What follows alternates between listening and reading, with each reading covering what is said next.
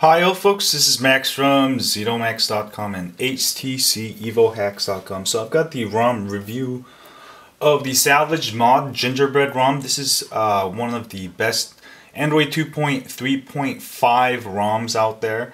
Uh, it's pretty much basic. Um, it comes with almost uh, nothing.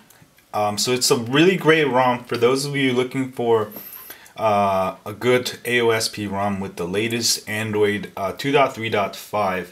Um, it's very clean. Everything's working out of the box. Um, I really like this because uh, I've been looking for a good 2.3.5 ROM, and uh, it's it's a really nice ROM. Um, I was getting about. I mean, the speeds aren't super, you know, fast or anything, but it's very clean ROM. Um, let me run Linpack real quick. Speeds are decent, um, but uh, 29. Sorry.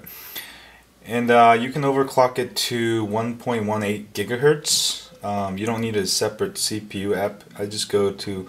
Oh, one thing I really like is the settings. Um, instead of you know you have to go through all these buttons. You got about, ROM, apps, parts. Um, you can go to performance, CPU settings maximum frequency, change that to there, set on boot.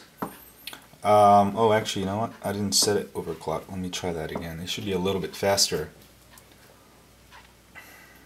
Um, I should probably get near 40 something if I keep running it. 36.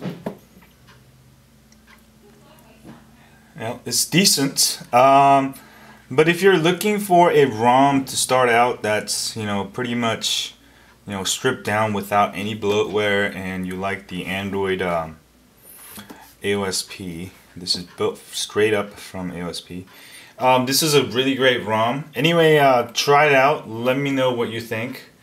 Um, make sure you you clear out Dalvik cache after you install it. Um, and uh, I'll have links below. And you also, you also have to uh, install Google Apps separately for this one. Um, but you can just flash it. Anyway, um, that was just a short overview of the salvage mod. Uh, that's the ROM of the week uh, at HTC Evo Hacks for the Evo 4G. Anyway, leave your comments. Uh, and uh, I'm just thinking about getting this Droid Bionic, uh, which launched today. So I, I'm gonna go get it. I'm, it's gonna be hell expensive. I don't want to pay 2.99 and then additional like 50 bucks on my family plan. But uh, I don't have an LG LTE phone, so you know I can't do tests with the go head on uh, head on head with uh, Sprint's 4G, and I also really need an LTE phone, so I think I'm gonna get it. Um, because I think the Droid Bionic is probably to be flagship for Verizon for the next like six months because they're not getting the Galaxy S2. Anyway, um, don't forget to subscribe and uh, also check out my friend channels. Um, I'll have links right here.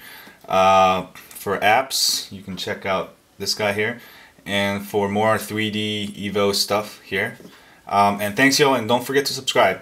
See y'all later.